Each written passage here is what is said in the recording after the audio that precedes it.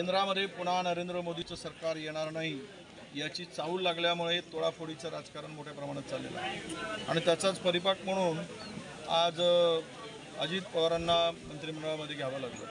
ज्यावेळेस अजित पवार इन झाले त्यावेळेसच मला वाटतं की मुख्यमंत्र्याचं आउटगोईंग सुरू झालं असं दिसतं. आणि वारंवार वारंवार दिल्लीला बोलवून पण हे दिल्ली महाराष्ट्राचे मुख्यमंत्री आहेत आणि दिल्लीमध्ये चक्रा दर आठवड्यातून दोन वेळा जाणं दिल्लीत जाऊन येणं आणि दिल्लीचं मांडलिकत्व पत्करल्यासारखा स्वतःचा अस्तित्व संपवून इथले राजे तिकडे जसं पूर्वी काही सुभेदार काही राजे होते किंवा वतनदार होते ते मोगलांच्याकडे तिकडे हुजरेगिरी करायचे आणि आपली वतनदारी निभवायची किंवा टिकवायची.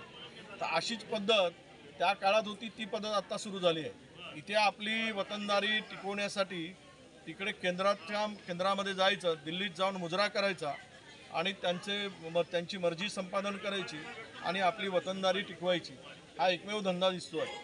अरे हे सगळं जे चाललं आहे विकासाकडे दुर्लक्ष आहे. महाराष्ट्र खड्ड्यात घालण्याचं काम सुरू आहे. संपूर्ण गोष्टी मोठ्या प्रमाणात आहेत.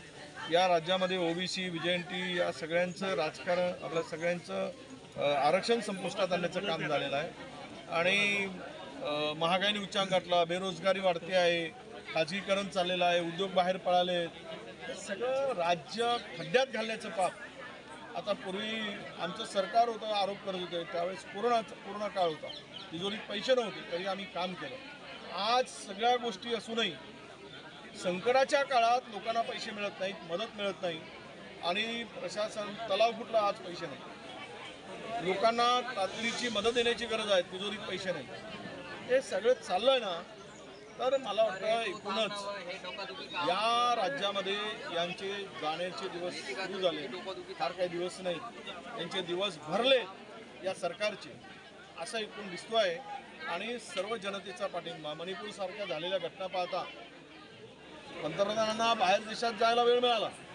पण त्या जवळ असलेल्या अठ्ठ्याहत्तर दिवस झाले मंत्री मणिपूर जळतोय पाच हजार घरं जाळून टाकली.